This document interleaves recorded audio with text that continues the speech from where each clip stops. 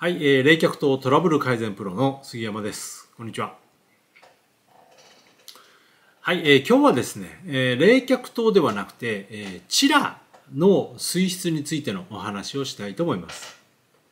えー、まあ、チラってですね、えー、水を冷やして、えー、こう循環させてる装置なんですけど、えー、このチラの、まあ、チラはあの冷却水と呼ばず冷水と呼ぶんですけどね、この冷水があもう茶色く濁っていると。えー、まあこういったこと結構経験されている方多いんじゃないかと思うんですけど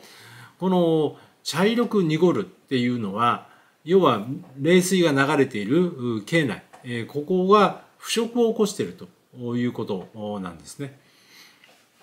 で結果的にまあ設備の老朽化につながってしまう。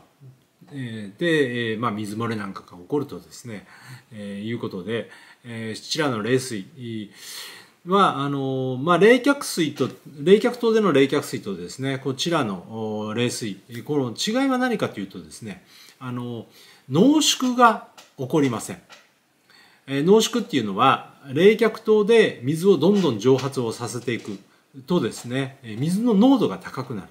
で水の中の不純物の濃度がですね非常に高くなってこうカルシウムなんかが付着するスケール障害を起こすでこれがチラではですね、えー、起こりません。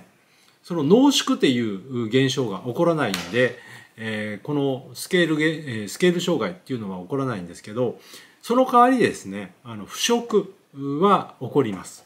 これはもう冷却水でも同じなんですけどあの冷水チラでの冷水も冷水はですねこの腐食が非常に起きやすい。であの腐食が起きる原因はですね水に含まれる溶存酸素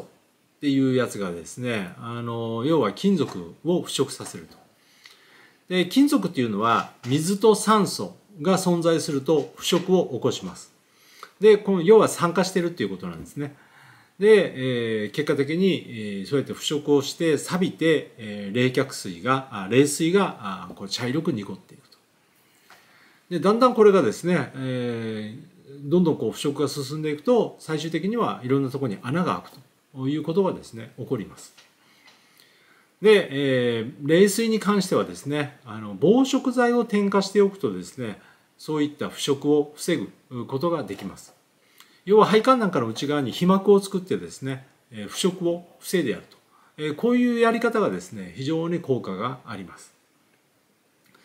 はい、私たちあの、まあ、冷却灯とこ回ってるとどうしてもチラなんかの設備もありましてであの水の管理をですねやはりこう請け負って、え、水質をですねチラ関係の水質をこう改善したりとかですね、え、そんなこともやっております。